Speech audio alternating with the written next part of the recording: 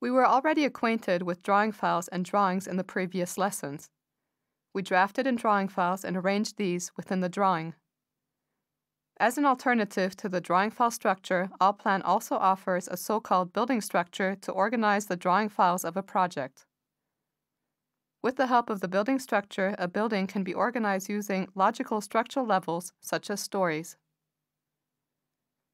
Drawing files are assigned to individual structural levels. Each structural level can then be assigned to a standard floor. When you change the settings of a structural level, the height settings of elements of the respective drawing files are automatically adjusted. This way you can adjust the height of hundreds of walls with a single mouse click. Working with the building structure also has other advantages. Data can be duplicated in an elegant manner. You can easily and quickly add another story or make various versions of the roof. Elevation sections and lists can be generated quickly and easily.